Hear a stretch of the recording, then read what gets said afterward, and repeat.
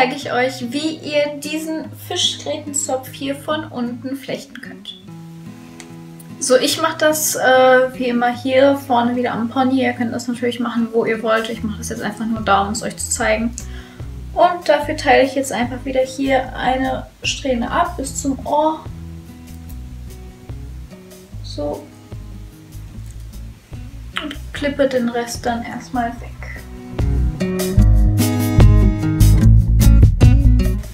So, das hier vorne kämme ich dann nochmal gut durch. Und dann können wir auch schon anfangen. Und zwar nehmt ihr euch einfach erstmal eine Strähne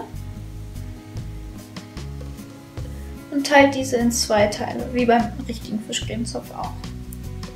Nur anstatt, dass ihr jetzt die einzelnen Strähnen, die ihr dann von diesen zwei Teilen abnimmt, die legt ihr halt nicht da drüber zunächst, sondern halt da drunter und legt die zu der anderen.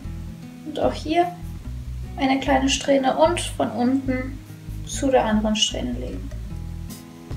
So, das wiederholt ihr dann und legt ab und zu ein paar Haare mit dazu. So macht ihr das jetzt erstmal ein Stückchen weiter.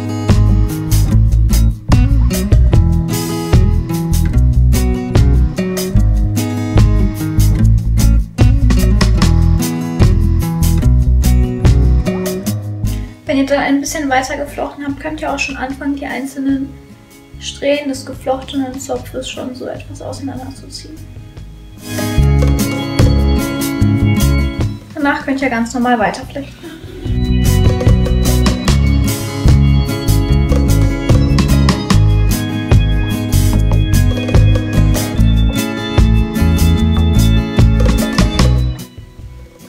Auch irgendwann keine Haare mehr habt, die ihr dazu nehmen könnt, flechtet ihr immer noch ganz normal weiter.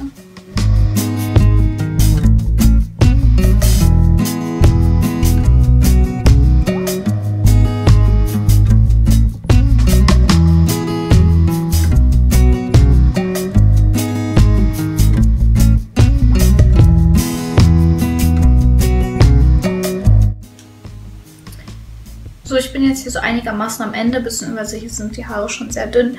Also mache ich das jetzt einfach mit einem kleinen Haargummi erstmal fest.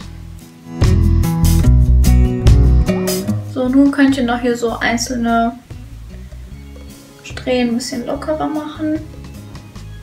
Und wenn ihr das so geflochten habt wie ich, könnt ihr das dann hier an der Seite noch hoch machen und mit zwei Klammern feststecken.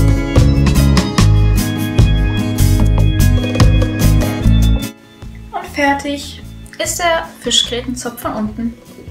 So, das war mein neues Video. Wenn euch das Video gefallen hat, würde ich mich freuen, wenn ihr mir einen Daumen nach oben geben würdet.